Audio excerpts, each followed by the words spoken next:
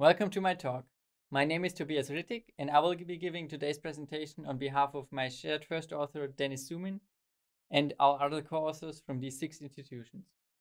These are Charles University Prague, MPI Saarbrücken, USI Lugano, Keldysh Institute of Applied Mathematics Moscow, IST Austria, and UCL London. As you can see, our title consists of two parts.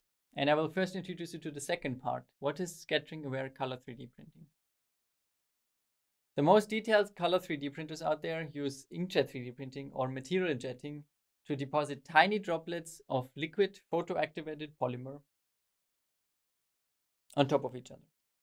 The droplets are immediately hardened by UV light so that the next layer can be printed on top of it. These machines produce great fidelity and are used in multiple industries where appearance matters, such as prototyping, visual effects, or medical prosthetics. The intrinsic problematic of the technology is the translucency of the materials.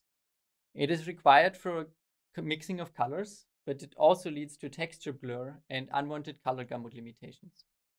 Look here on the right side, where a naive solution that just extrudes surface color loses all the fine details and has a lower overall contrast. We addressed these problems in two previous publications by our group. Scattering aware texture reproduction for 3D printing pioneered this problematic and solved it for planar 2.5D geometry. The follow-up work, Geometry Aware Scattering Compensation for 3D Printing, extended this work to 3D and solved color crosstalk um, around thin geometry. Both methods use an iterative optimization loop that continuously predicts the appearance and refines the material arrangement to get a better match to the virtual target. For the prediction step, we used Monte Carlo light transport simulation, which was accurate, but unfortunately very expensive to compute. In this work, we address this prediction step and present a method based on machine learning to replace a costly light, costly light transport simulation, but while maintaining its high quality. So you can get 3D printouts like these, but up to two orders of magnitude faster per iteration and with considerably reduced hardware requirements. Our contributions along that topic consist of a fast predictor for fully heterogeneous subsurface scattering, vital architecture improvements over a previous technique that we learned from cloud rendering, a synthetic dataset for volume, and various engineering solutions for memory efficient and out of core training. Let me first specify how we model the 3D printouts in our pipeline. A path tracing simulation starts from the surface and traces rays into the medium in the direction of the normal. There, the rays scattered many, many times until they reach the surface again at a different location. This represents the light attenuation underneath the surface for a diffuse and constant illumination over the surface. The interior of objects is filled with a heterogeneous participating medium that has not only spatially varying albedo, but also the optical density changes for every voxel. The medium consists of the like the medium is a composite of the five basic materials that the printer can produce, which are cyan, magenta, yellow, black, and white. There's also transparent material, but we do not consider in this work. In essence, we propose to replace this expensive recursive simulation with a machine learned model that gives the same result per surface point for a single inference. Okay, now let's look at related work. Deep learning has been applied to volume rendering before. In this work, Vicini et al. propose a model that can predict the exit location and the transmittance for an incoming ray that enters a homogeneous medium. The second work by Kallweit et al. proposed predicts the multiple scattering contribution of media with heterogeneous density for very directional lighting. Both of these integrate the neural network into a ray-based simulation, whereas we build the network for the final result without the, the need for any rays. As the top work is limited to homogeneous media only, we base our approach on the bottom one and extend it to also work with spatially varying albedo. So let me explain this work in more detail so you understand how these radiance predicting neural networks are used. So once the ray hits the cloud, the first scattering event is sampled. From there, a single scattering ray is connected to the sun, and any multiple scattering is predicted by the network itself. For that, a descriptor of the local medium configuration, also called a stencil, is sampled around that point on multiple stages. The authors implicitly encode the light direction to the network by rotating the stencil towards the sun. The stencil is hierarchical, which means that it consists of multiple levels with the same resolution, but different coverage and accuracy of the surrounding volume. Here, two levels are displayed, which double in size. And typically, you would extract 10 levels to cover enough distance around the center point for the light transport to be negligible. The network itself is a fairly simple feed-forward multi-layer perceptron with skip connections. Inside, each block receives one level of the hierarchical stencil as input. The signal is collected from all the scales in the RPNN blocks and then mixed with three dense layers to produce a single throughput value as the output. This process is repeated for every ray, millions of which are necessary for a converged image of a cloud. And I will now talk about our contributions to RPNNs and how we use them differently for 3D printing volumes. In our setting, instead of shooting rays, we predict the final appearance of the surface completely with the network. So for each surface voxel, we extract a stencil that describes the surrounding volume. Then we run them in parallel batches through the network, which yields a single radiance value in the end. We reassemble these values into a 3D grid again to map the appearance back to the surface voxel. This loop is independent for different color channels, but they all use the same network. Our prediction pipeline is pretty much the same during inference and training, except that the stencils during training are not only from a single vo volume, but from many training examples. The dataset we use for training is purely synthetic. We generate it from these six basic shapes, a cube, a sphere, and a thin plane with some rotations. We instantiate them in a few different sizes from 5 to 25 millimeters and fill the inside with a procedural volumetric texture that is generated by a noise function.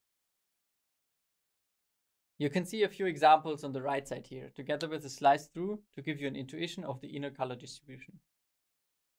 The ground truth appearance for these volumes is obtained via Monte Carlo simulation with 512 samples. Before rendering, the volumes are half-toned to the five discrete printer materials that have a specific measured scattering and absorption coefficient differing over R, G, and B, as we plot here on the bottom left.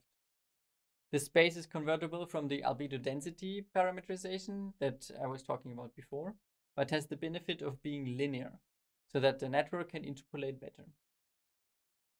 Let me stress how sparse this dataset really is in terms of geometric variation and the volumetric properties of the material. The limiting factor here is memory, especially during training. Already this dataset does not fit into 256 gigabytes of memory and it has to be streamed during the training process. In order to describe the volume topology to the network, we take a similar approach to Kallweit et al and we sample the volume around the surface voxel. Instead of an elongated stencil, we sample a symmetric cube that is aligned with our voxel grid and extract scattering and absorption coefficients per sample point. The stencil consists of nine hierarchical levels that double in footprint but keep the same resolution. This means that on the lowest level, we directly sample our neighboring voxels, and on the next level, we average two voxels together and treat them as one sample point. This continues until we can describe enough of the surrounding light transport so that the influence becomes negligible. Technically, we solve this averaging using three-dimensional summed area tables or integral volumes that we implemented in a two-level hierarchical way in order to support sparsity and also circumvent numerical accuracy problems. That saves precious memory during training.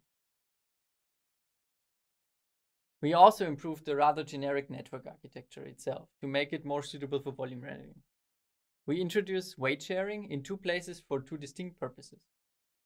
First, we share weights between blocks because each of them essentially processes the same neighborhood but on a different scale. This effectively is the same as looking at the volume from further away and is also the same as increasing the optical density. that is a physical invariant that is intrinsic to optic uh, to intrinsic to volumetric light transport, and we make make use of that. So we can share the network weights between the blocks, but we have to adjust the optical density of the input values to bring them on the same reference frame. On the graph of the values, this effectively scales the convex hulls to bigger and bigger levels uh, to cover more of the parameter domain for each level. I will repeat this animation again.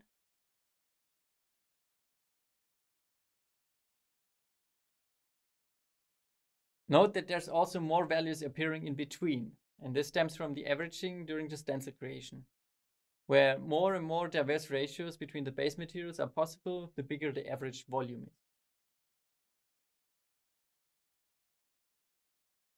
Second, we also make use of diffuse lighting that we have in our setup. Under such lighting, the object looks the same no matter how you rotate it against the coordinate system. In order to model such rotational invariance, you would ideally use a network that has a spherical coordinate system. Um, but we have come up with a simpler solution where you can keep the simplicity of a grid-based network and approximate this rotational symmetry. For that, we split our data, the, our input data, in two halves for each axis and rotate these partial cubes or octants to a common orientation. Then we process them with the same weights. This creates a weak rotational symmetry between the coordinate axis and the data's orientation. In the network, this concept is applied throughout the whole graph. Inside of each block, which I haven't detailed any further in this talk, and also for the dense gathering layers in the end. Both of our weight sharing schemes are useful for general volume rendering. Excuse me, general volume rendering. But the second one is more specific to the diffuse illumination that we have in our setup. At the end of the processing, we receive a single value which represents the total radiance due to subsurface scattering in one color channel. Okay, now let's look at some results. In the following, we are comparing our network against the ground truth Monte Carlo simulation with 512 samples and a baseline architecture which does not include our weight sharing improvements. We report timings for these hardware configurations where the neural networks run on a conventional desktop workstation and the Monte Carlo method requires a whole compute cluster. The objects we compare have a more realistic volume distribution of, of the materials uh, compared to our generated training dataset. And the difference images I will be showing use a perceptual color metric where darker is better. For a single forward prediction of an existing volume, the quality between Monte Carlo and ours is on the same level for most parts of the geometry. The baseline architecture without weight sharing clearly suffers from more from the more sparse dataset and produces banding artifacts. The computational effort for this 4 cm object decreased dramatically to about 2 minutes, even on a single machine. Now let's look at the neural predictor inside an iterative optimization loop. Here, any potential bias would add up over multiple iterations and manifest itself in the final appearance. Again, the quality between ours and Monte Carlo matches very well. If we look at the difference images against the target, our network even produces a slightly better match in some areas. For the baseline network, the blacks are underestimated, resulting in an over-darkening of the optimization. When we compare against the Monte Carlo solution, which uses the same runtime as ours, you can even visually see the reduced quality in the details.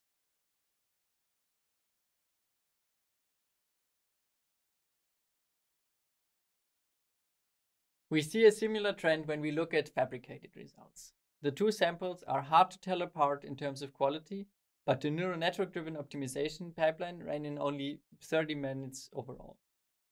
For the network, the runtime is independent of the geometry complexity and the optical density, which allows a scattering aware 3D printing pipeline to become practical for the first time.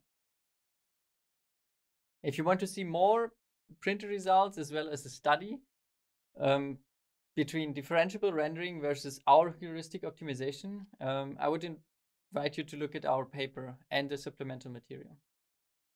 Okay, so far we've established that the network does what it is intended for. Now to a more detailed evaluation of our performance. Say in the future we have a new material set with uh, different optical properties. Here's two examples where we make the object four times more opaque and four times more translucent.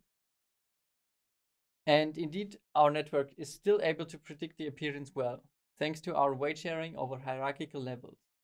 And that is absent in the baseline architecture, causing the failure here. Note that this is just a constant shift over the density axis, but what if we throw some more complex materials at it? And we show that by inventing a completely new material set with a smooth spectral distribution that re roughly resembles a CMYKW material set. You can see the, the smooth parameters varying here on the bottom left. And because we trained only a single channel network, it's straightforward to apply the network to multiple spectral bands and get a spectral prediction. The results we observed show the same trend as before. Our neural network is still closely matches the Monte Carlo simulation. Because the values here are still within the range of the training values, the baseline solution doesn't fail in this example. Overall, we think that this network will be very useful in the future and possibly even for other applications outside of 3D printing. Of course, our method also has its limitations. We have two weak assumptions, one being the diffuse illumination, although one could more model a more directional lighting similar to Kallweit et al. And secondly, our render dataset assumes a voxel to be a perfect sharp cube um, with sharp boundaries. And this might not be entirely realistic because of materials mixing during the print process. But one could re-render the dataset with some interpolations to simulate that. A more strict limitation we encountered is that the stencil representation is somewhat ambiguous for geometry that has holes inside. It expresses itself as training instability, and we see it as future work to solve this problem. In conclusion, I've shown you a machine learned predictor for the appearance of fully heterogeneous media. I told you how we apply weight sharing in order to generalize better, especially with a very limited dataset. For those of you who want to play with the network yourself, we publish our dataset and the code under this link. And finally, I want to take this opportunity to thank Sebastian Cucerca and the following grant agencies for supporting this project. My special thank you belongs to Jaroslav Křivánek, who always knew an answer and never gave up. He is deeply missed. Thank you for your attention.